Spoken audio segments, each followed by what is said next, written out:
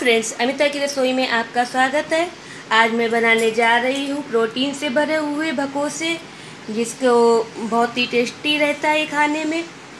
अगर आपने अभी तक मेरा चैनल सब्सक्राइब नहीं किया तो उसको सब्सक्राइब कर दीजिए और प्लीज़ वीडियो देख के कमेंट करना ना भूलना। इसके लिए हमने लिए है ये चना की दाल, जो कि पानी में मैंने दो से तीन घंटे भिगो दी थी। और ये थोड़े से सोयाबीन की बड़ी ली, इसको भी पानी में फुला लिया है। और हरी मिर्च, हरी धनिया, लहसुन, प्याज, नमक, हींग, जीरा, हल्दी, लाल मिर्ची पाउडर, धनिया पाउडर, गरम मसाला और फ्राई करने के लिए तेल। इसको बनाने के लिए मैं ये दाल को पहले मिक्सर में डालूँगी। ये जार में डाल के इसको पीसना है और इसको बहुत बारीक नहीं करना है, मोटा ही रखना है। इसी में मैं ये सोयाबीन की बड़ी डाल दूँगी।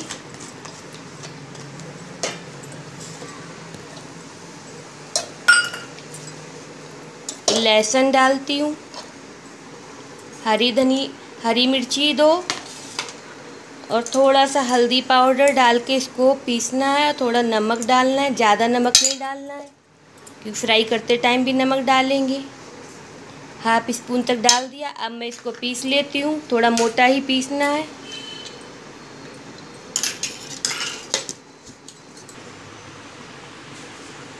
ये देखिए, मैंने पीस लिया है। थोड़ा मोटा ही रखा है। अब इसको बनाने के लिए मैंने आटा भी लगा के रखा है। ये आटा मैंने मारा था। इसको रोटी की तरह ही मारना है। बस आधा चम्मच नमक डाल के इसको मार के रखा था। अब मैं इसके भकोसे बनाऊँगी।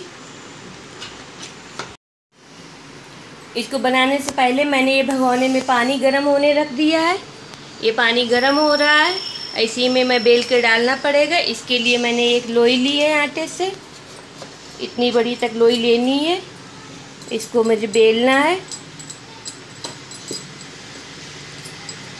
और ये हमें थोड़ी मोटी ही रखनी है। पूरी से मोटी रखनी है। इस तरह से बेलनी है। देखिए, ये मोटी है अभी, पूरी से मोटी। अब इसको मुझे भरना है। ये इसमें रख के इसको इधर से फोल्ड करके चिपका देना है, इस तरह से। आप इसको फॉक से भी चिपका सकते हैं। इसे अच्छी तरह से चिपक जाएगा। इस तरह से ही हमें बना लेनी है।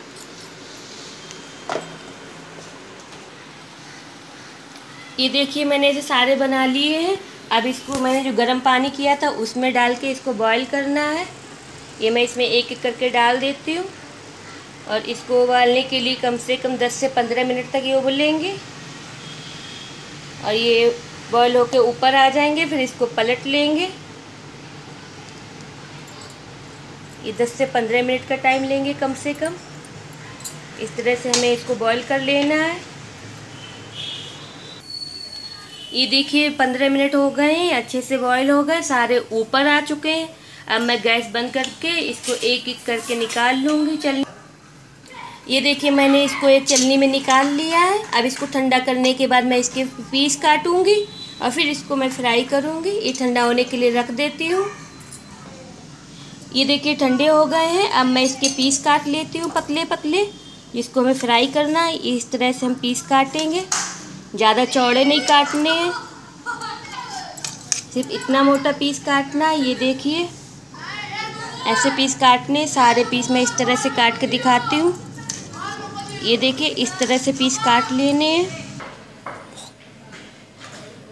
ये देखिए इसमें मैंने काट लिए पीस। अब मैं इसको फ्राई करने के लिए मैंने पैन में तेल गरम कर लिया है। इसमें मैं हींग डालूँगी।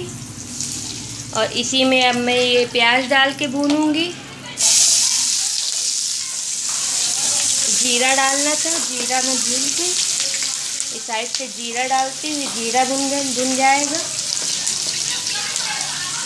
अब इसमें प्याज डाल के भूनती हूँ। प्याज और हरी मिर्च, आप चाहें तो प्याज नहीं खाते हैं तो इसको प्याज और लहसुन दोनों को अवॉइड कर सकते हैं।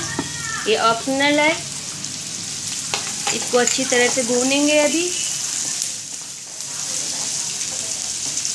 हल्का गुलाबी करना है ये। ये देखिए, प्याज भुन गया है।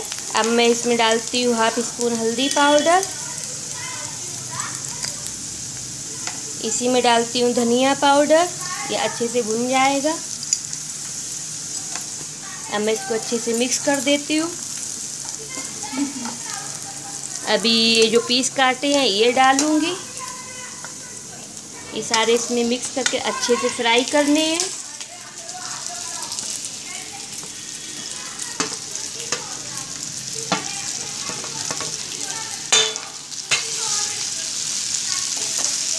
इसी में अभी ऊपर से थोड़ा नमक डाला था मैंने, इसलिए इसमें अभी थोड़ा नमक और डालना पड़ेगा, जिससे अच्छा टेस्ट आएगा। और ये लाल मिर्ची पाउडर, गरम मसाला, ये सब डाल के धीमी गैस करके थोड़ा थोड़ा भूनना है। अच्छे से फ्राई करना है ये, अच्छे से मिक्स हो जाएगा। इस तरह से चला के फ्राई करनी है।